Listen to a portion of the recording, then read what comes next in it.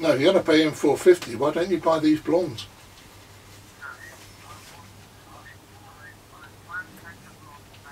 Oh, okay. Absolutely, absolutely. That's a good deal.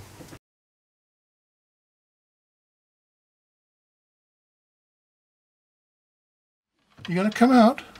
Hey? Hello? Hello? Hello? That's it. Calm down. It's okay. It's okay. Good boy. I'm Rob Challis. Uh, I am a hobbyist in terms of looking after snakes. I have about 220 at home and about another 40 at London Zoo and the London School of Tropical Medicine. They're the venomous ones. All the ones at home here are all quite harmless.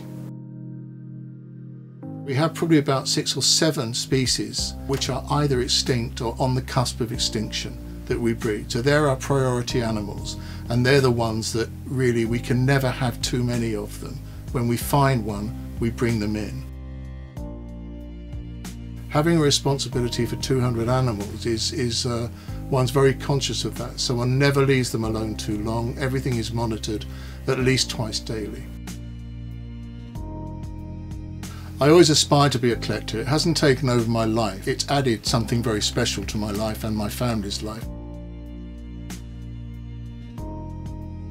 Most snakes venomous included, just want to get away from us. They don't want anything to do with us.